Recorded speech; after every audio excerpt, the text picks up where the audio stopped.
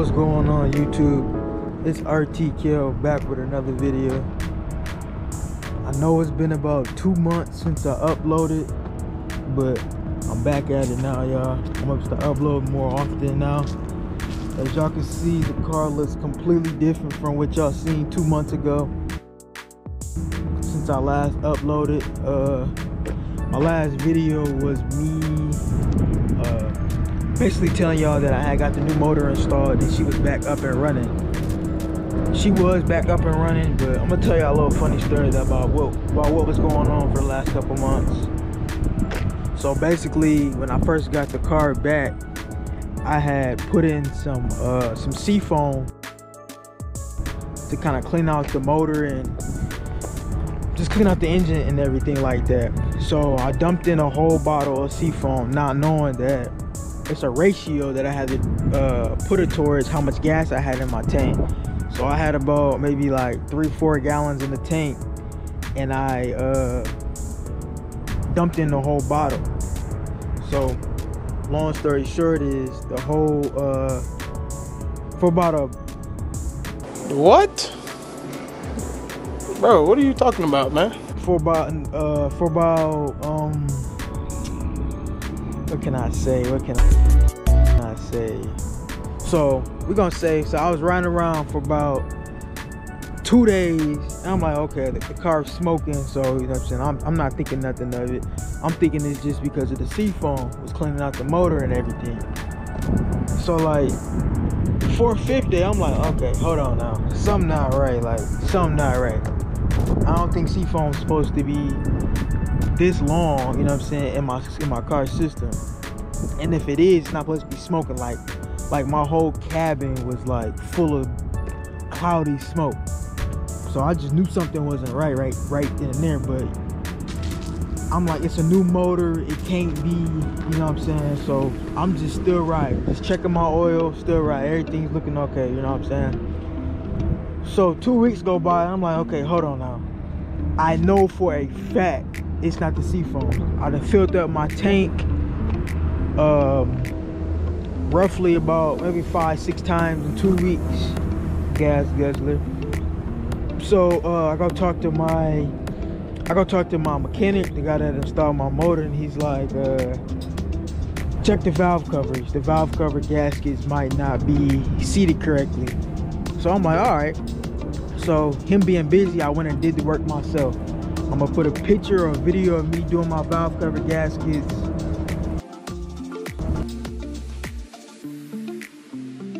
I did my valve cover gaskets three times in the course of like two weeks, thinking it was leaking. So I took off my cold air intake, took off my throttle body, took off my intake manifold, took off the spark plugs, the manifold, I mean the intake manifold, the coil packs, took off all of that just to get to the uh, the valve cover gaskets. Went to AutoZone, got their valve cover gaskets. As you I see, they're blue. Blue valve cover gaskets. The OEM ones are black. But yeah, I went there, got their gaskets, changed them out three times, thinking I'm set. I'm stressed out, making sure I don't roll the gasket as I'm installing the cover. And um, I put everything back together and it's still leaking oil. So I'm like, okay, something else is wrong. So um, little funny story when I was installing the intake manifold I forgot to plug in the map sensor in the back it's a little map sensor in the back of the intake manifold I forgot to plug that in and the car was just like surging and rocking and bucking and shit. So I had to take it right back off had everything locked down screwed in ready to rock and roll. Mind you I, I was doing this on the 4th of July because I wanted to drive my car on the 4th of July. So I woke up extra early you know what I'm saying, trying to get my car from start leaking oil so I could, you know what I'm saying, right around 4th of July in my car and it just, it ain't happen like that. So, um, after I got the everything hooked up and I figured out that it was still leaking oil, I had put a container under the engine to catch the oil. Sure enough, it was still leaking oil. But it wasn't like a lot of oil, but it was a fair enough amount. You know what I'm saying? So I take it to uh I got two mechanics. So I take it to my other mechanic because the guy that installed my motor was busy. So I took it to my other mechanic. He had the car for about since like uh the 5th of July to like I don't know for like two weeks basically. Uh, first he said uh, he put the car in the air and he seen oil spots on behind the valve covers. So he redid the valve covers, charged me, you know what I'm saying, a couple hundred dollars to the valve covers. Mind you, I did the valve covers three times. So I get the car back. Uh, I'm at my mama house and something just told me to look under the car. I, I didn't even spec I just thought it was fixed. I didn't even, you know what I'm saying, look at it when I first got the car. So some told me look under the car, look under the car. The car is still leaking oil, y'all. I'm gonna put a picture right here. As y'all seen, the car is still leaking oil. So I text him like, yo, I took my I brought my car to you for you to fix this issue and it's still doing what I asked you to fix. He's like, okay, well, just bring me the car back tomorrow, free of charge, this, this, that, you know what I'm saying? So I'm like, I already bet. So I bring him the car the next day. He's like, man, that's weird. Uh, I don't know what it could be leaking from, but I'm gonna figure it out free of charge. I'm like, all right, yo, all right, cool, sound good. So about a, a week, about seven days go by.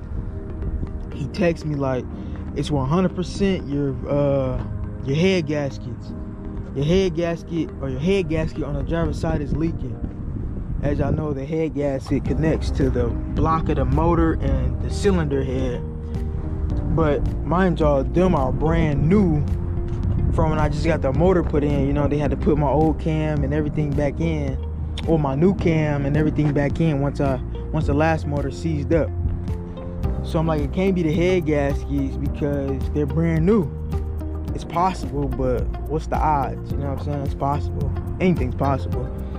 So I'm like, okay, all right.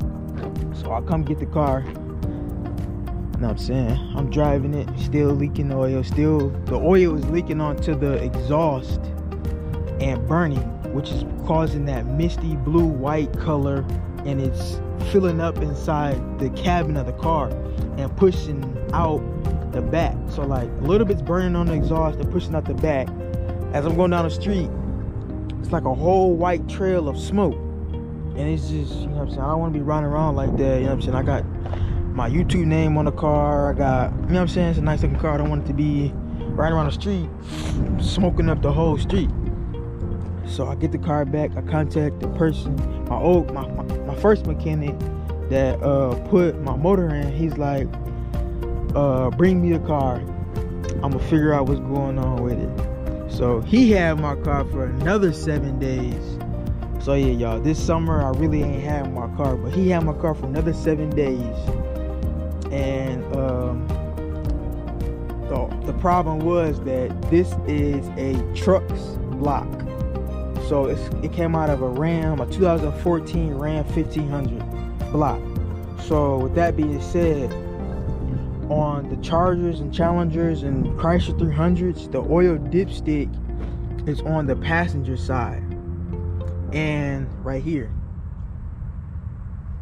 And on the Ram 1500s, the oil dipstick is on the driver's side over here. So uh, when I got my new motor installed, they changed my uh, oil pan and everything. So my oil dipstick is still on the passenger side, the left side. So with that being said, that leaves a hole over here from the Ram 1500's oil dipstick. So they plugged it when I first got my motor put in, but they didn't plug it, seal it good enough.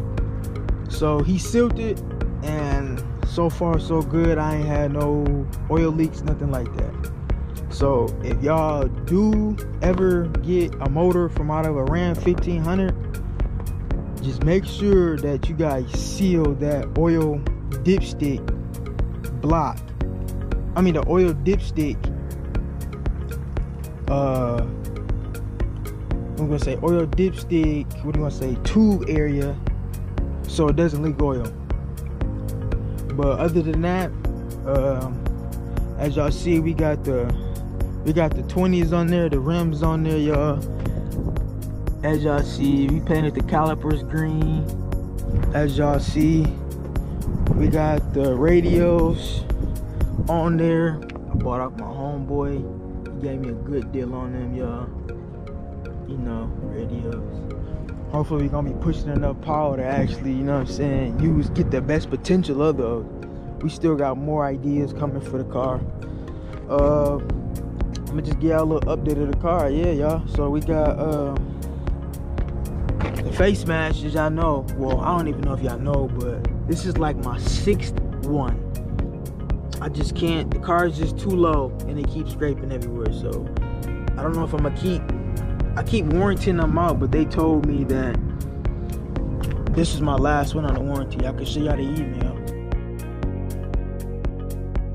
Dude, I don't think I'm bullshitting, but you can only warranty it out so many times.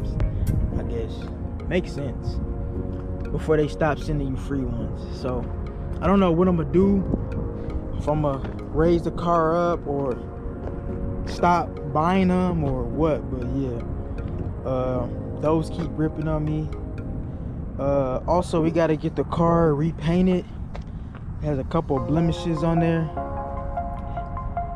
This stuff is little minor stuff right here. Y'all see that? Just those two little minor little scrapes. And then the main one that I have to get fixed. We gonna take this off real quick. That right there. That right there, that's great. That not expected. But yeah, that scrape right there, y'all. That is terrible. Kind of deep. So the backstory behind that is I was trying to tow my vehicle, put that back on there so nobody can see my little scrape. We're gonna call this the band-aid from, from here on out until we get that fixed. Cause it's covering up the scratch. But uh, the backstory behind the scratch was I was towing my, I was getting my vehicle towed, and you know my vehicle low as shit. It's just sit low, so it can't, and it got the front splitter, and it can't go up the bed of a truck. So I have to always, every time I get my car towed, I have to take my front bumper off. So I took my front bumper off, and me not paying attention, I had the front bumper, I guess, rubbing against the car or rubbing against something that was on the back of the tow truck, and that's what caused that little uh, scrape or scratch or whatever you want to call it. But I haven't had the car, so haven't had time to get it fixed. But now that I got it, I'm gonna definitely go ahead and get that worked out. Uh, other than that, uh, I gotta figure out a way to snap my bumper on a little bit better. You see right there, I brought new bumper uh, support brackets. I just gotta figure out a, the best way to mount my bumper so it doesn't keep coming off. I'm gonna have to jack it up one day, and I will record it. Me, you know what I'm saying? Figuring out the best way to mount my front bumper so I don't have to keep buying. it. It's like my third SRT8 front bumper. I don't want to keep buying them. They're not cheap. Then I gotta get it painted and all that extra stuff. So yeah, y'all, we still got the Demon Hood. I'm gonna go ahead and close it for y'all so y'all can get a full look at the car. I haven't did no uh, performance upgrades to it because I haven't even had it. We still got everything the same. We got the disc brakes. I don't even know if I told y'all about the disc brakes. Wait, we got the disc brakes. I need to upgrade the brakes to Brembos because once they get hot, they don't like to slow the car down. I can see the performance goes down once the car, once the brakes heat up. I thought uh, I could get by with Jordan slotted rotors. Mm, I mean, it probably helps a little bit, but nothing, you know what I'm saying, too noticeable. So we is, so we are gonna get Brembo brakes, front and rear, soon. Maybe over the winter. Maybe I don't know if I catch a good deal on marketplace or whatever you want to call it. But yeah, y'all, this is it. Still got the 6-4 manifold fully tuned by Jay Green. Oh, another thing that I had to order was uh my intake, my uh, air sensor right here. I had to get a longer cord, 24 inches. The stock one wasn't long enough. I finally was doing some research. I was at home just doing some research because I had the stock one just laying right here and the car wasn't throwing no code, so I wasn't really like pressed about it. And you know, just bored one night. I was doing my research and um yeah, they told me that you gotta order one off of Amazon, a longer a longer cord. So ordered that, put it in the six four minute uh quarter intake. Got it snapped in right here. I should probably zip tie that together so it's not just freely running. But yeah, other than that, we are good, y'all. She been running good. I done had her back for about a couple weeks now. Couldn't get back into this YouTube stuff. Uh, yeah, y'all. I don't know if I told y'all, showed y'all or not, but here's the interior of the, of the car. We got the red and black RT seats. I never even seen these seats before. My mechanic sold them to me. We got the red and black. Only thing I don't like about these seats is they not heated like my other one were. Like like the black ones I had was, but I guess it don't matter because it's not like I'm gonna be driving this car in the winter, so it don't really matter. But I do gotta clean the clean the seats, clean the inside of the car. I see it is a little dirty or whatever. I'm gonna get it detailed now that I for sure got the car back. Just had to show y'all that. Y'all little update of the full car, everything. Yeah, more and more walk around.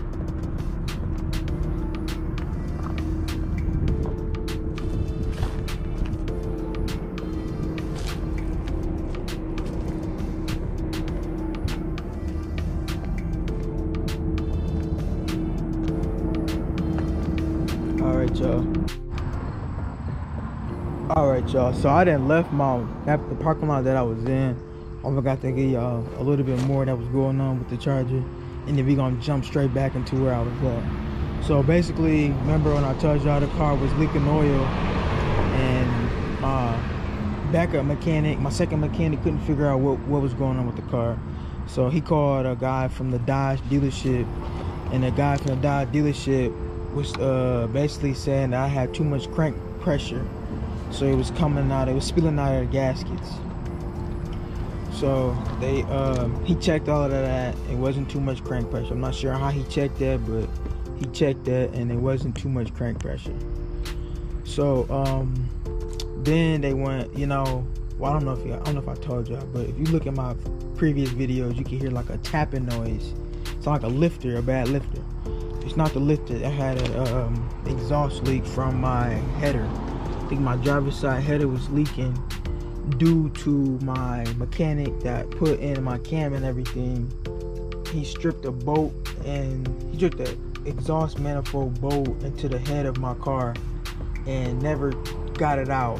So it was just leaking and due to excess heat it burnt off my gasket because it wasn't sealed completely from what my second mechanic was telling me. So they thought that due to the excess heat from the leak that it was leaking oil that it was making the gasket lose density and leaking oil that way.